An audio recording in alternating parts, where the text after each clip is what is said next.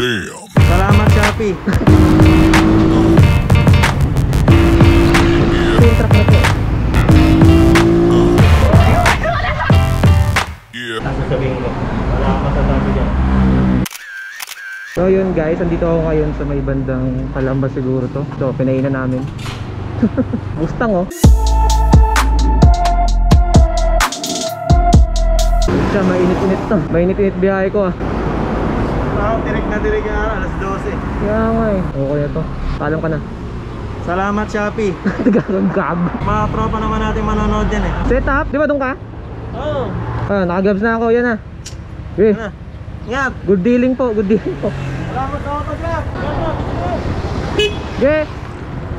What's up mga kabayan? Nagbabay ka naman ang inyong lingkod At kung nagtataka kayo kung saan ang inyong lingkod Nandito ako ngayon sa Kalamba Dahil may pagkita lang ako sa kaklase ko noong college. Isa siya sa mga naging tropa ko noon Sa TIP Noong nag-aaral pa ako sa TIP Kamustahan? Kwentuhan tungkol sa buhay. Siya nanggaling pa siyang Santa Rosa. Ako nanggaling ako ng Batangas City. So as you can see mga kabayan, nakikita nyo naman oh. Maganda-ganda rin yung panahon ngayon. As usual, tanghali tayo gumagala Dahil matapang tayo Haharapin natin yung tirik ng araw. Trivia lang po mga kabayan. Itong Yakult na to, ito lang ata yung paisa-isang planta ng Yakult dito Sa Pilipinas. Dito sa Calamba, Laguna, Philippines Ewan ko lang at kung ito yung kaisa-isa Tanghali pero windy Woohoo! Ewan ko lang kung maririnig nyo ako kasi sobrang hangin talaga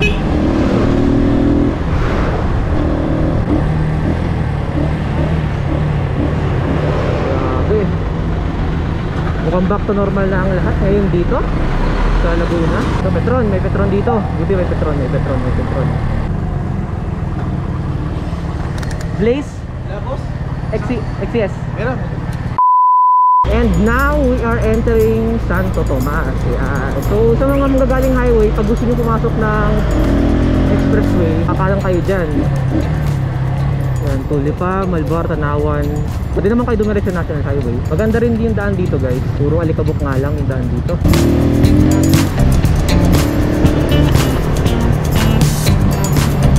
Itong kaliwang to, yan. Yan yung papuntang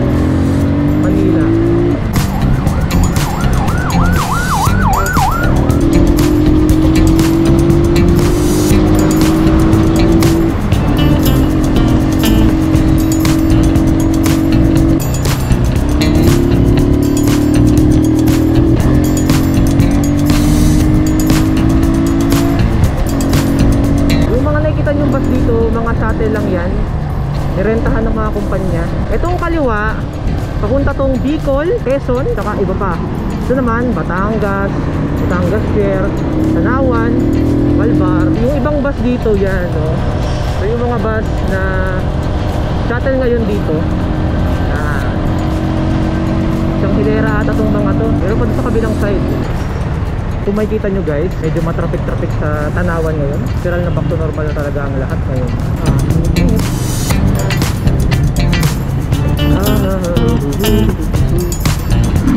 am the master of singing. Pantot pa kong Kung makikita nyo, bukas na yung mga Jollibee dito. Social distancing. Ah. Ewan ko lang minsan may delay yung mga stoplight dito sa Batangas eh. Pero okay lang yun. Tignan nyo naman kung gaano kalawak yung daan dito oh.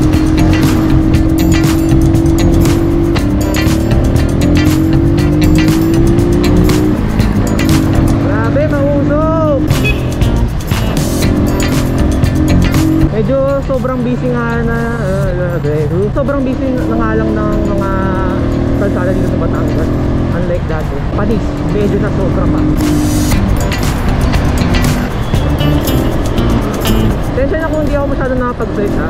Gusto ko lang ramdaman tong lugar na to hanggat maaga pa. Usually kasi nakakadaan ako sa lugar na to pag sobrang gabi na. Eh ngayon, siguro second time ko na siyang nadaanan ng may liwanag pa konti. Kaya nakakatuwa lang. Nakikita niyo tong kalsada na to, delikado. Ang lawak niyang tignan, ha, di ba? Pero pag gabi nakakatakot to kasi walang kalinya-linya. So sobrang dilim pa. Usually ang kakampi mo lang dito is ilaw. Yan. So tulad sa mga ganito. Kada municipality per town. Kunwari ito, nasa Malbar na tayo. Ang makikita mo dito is puro mga reflector at saka mga mini light dun sa gitna ng kalsada. Yan. Dun sa mismong divider.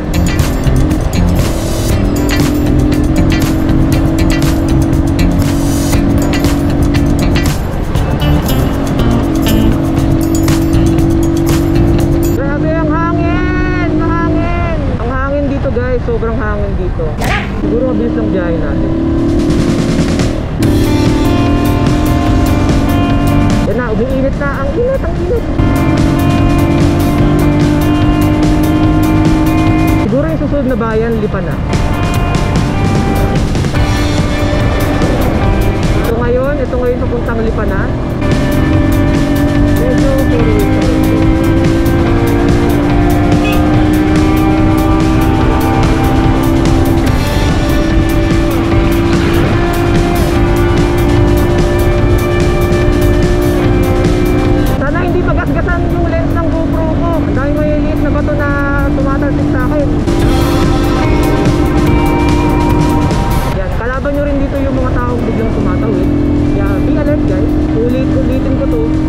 At huwag magpapaloko. Hahaha. Kaya lang, sabi ko lang huwag magpapaloko. Bakit ba? Ang bilis ata ng biyahe ko. Feeling ko nasa lipa na ako eh.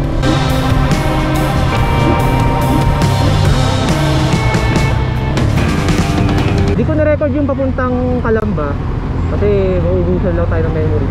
Kanina pa dito yung truck na to.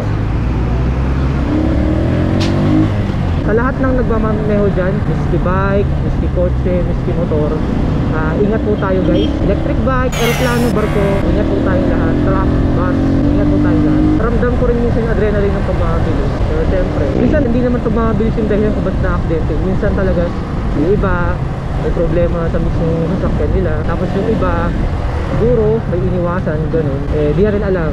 Kasi minsan di rin bilis yung dahilan ng pagkakaroon ng aksidente. Stay safe sa ating lahat. Kasi di lang COVID yung kalaban natin ngayon.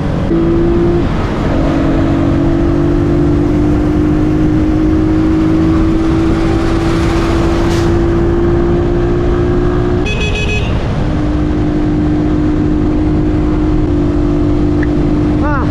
May bato! Tumama sa ano ko, visor ko. Oh my God!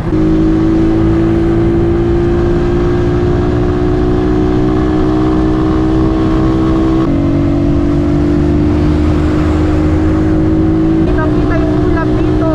Woohoo! Yun, recording pa tayo mga kaibigan.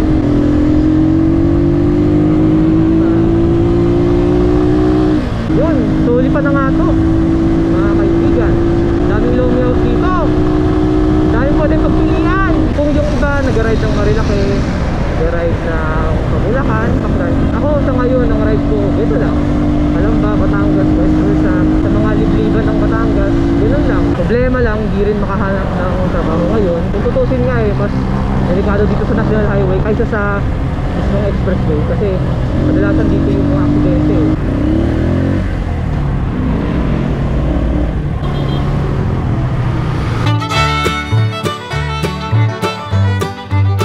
Ah, yun. Kala ko sasayad eh. Nabutan pa nga tayo ng stoplight. So ito guys, ito na siguro yung pinakabayan ng mismong lipa. At sa nakikita nyo, yan oh. Ang ganda ng daan. Ito yung SM City Lipa. Yan. Ano, parang siyang sinaki ng mga SM City sa Pampanga at saka Olongapo. Sa Laguna. Ganyan din sa Kalaki.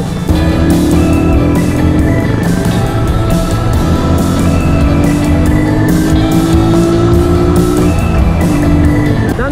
Slots dito sa kalsada.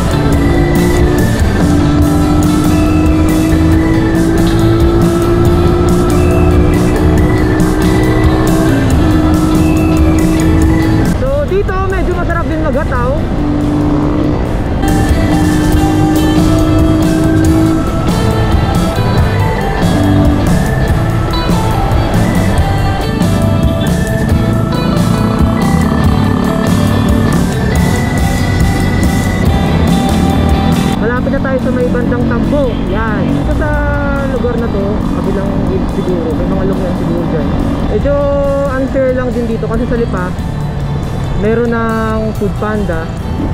Samantalang sa Batangas City, wala pa rin. A few inches later. Dahil po ano! Out sa inyo!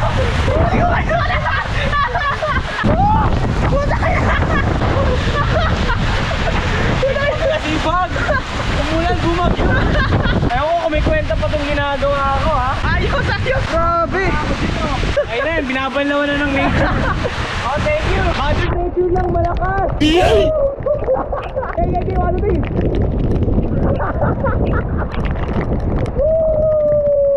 The end, tapos na.